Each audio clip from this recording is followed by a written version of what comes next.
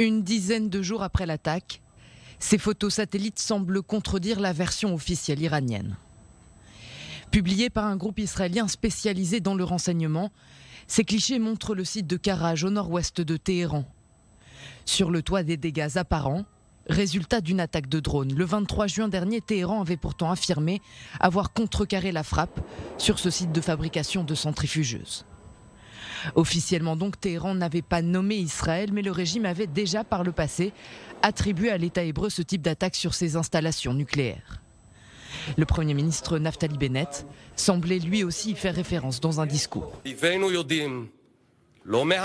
Nos ennemis savent, pas à cause de nos déclarations, mais par nos actions, que nous sommes beaucoup plus déterminés et beaucoup plus intelligents et que nous n'hésitons pas à agir quand cela est nécessaire.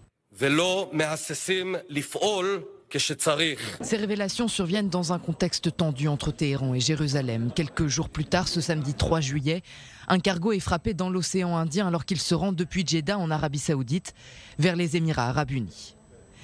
Le navire était il y a encore quelques mois partiellement détenu par un homme d'affaires israélien qui a depuis vendu ses parts.